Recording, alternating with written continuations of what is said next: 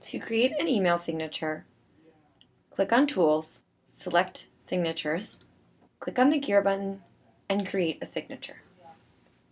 You can select to start from scratch or use a template. We will choose to use the classic FlashPanel signature. Select Continue, and then select the users, OUs, or groups you would like to apply this signature to. So we will select our New York sales team and click Continue. You will see a preview of your signature on the left hand side for your review.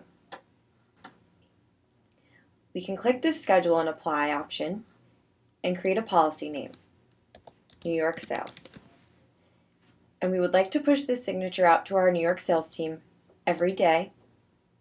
So now, even if our sales team is to go in and change their signature in the afternoon, the next morning, the classic FlashPanel signature will be pushed back out to our New York sales team regardless of any changes they have made.